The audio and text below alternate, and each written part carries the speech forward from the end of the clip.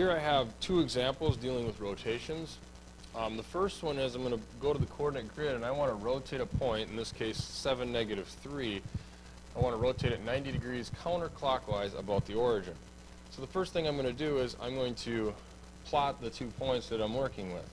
The first one is going to be at 7, negative 3, should be approximately there. Let's get the coordinates out there. And then the, my uh, center rotation is going to be the origin. There we go. Now I could grab my compass and my protractor and my straight edge and go through and rotate this. However, what I'm going to do is I'm going to think about if I'm on the coordinate grid and I have to rotate something 90 degrees, well, that means that I have segments that are going to be perpendicular or raised. So this one side of my angle of rotation, I, I, can see the other one has to be perpendicular to it. Well, I start thinking about what do, what do I know about lines or segments in the coordinate grid that are perpendicular? I know that their slopes are opposite reciprocals. So I look at this one, the slope of that segment is going to have a slope of, well, goes up 3 and left 7. So the slope would be negative 3 sevenths for that part. Well, then my other one's going to have to have a slope of positive 7 thirds. Now you have two options here. You can either go kind of this route, so that one, now I'm, I'm going to fix that so it looks like the way it's supposed to, or I could go this route. Either one is going to have a slope of positive 7 thirds.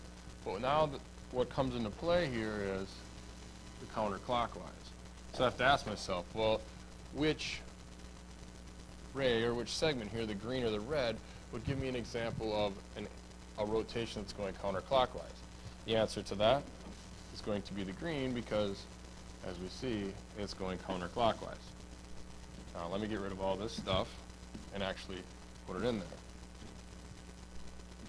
So what I look at now is I'm going to start at my point 0, 0. There's my center of rotation. I have to get a segment or array that's going to have a positive 7 thirds um, slope. So I'm going to go up 7, and I have to go over 3. So I'm going to have a ray that looks something like that. And if everything's done right, I can look at that and it looks like a 90 degree angle. I should be able to get a protractor out and measure it. It'll be a 90 degree angle as long as your coordinate grid is is uh, 1 by 1 squared. So now it's just remembering back to, now that I have my angle there, now I just have to get the distance. So however far it is from the origin to 7, negative 3, I have to find that equal distance from the origin up to my other point. And the way I look at this is, well, if I go 7 to the right and down 3, is that going to be any different than going up 7 and right 3? Answer is no. So then I have my point here at 3, 7.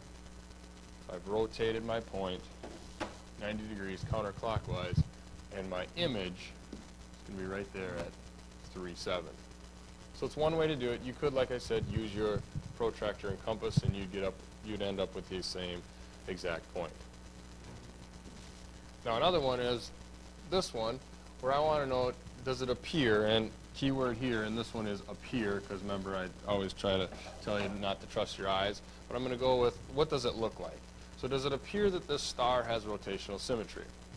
And if it does, we want to find the order and we want to find the magnitude.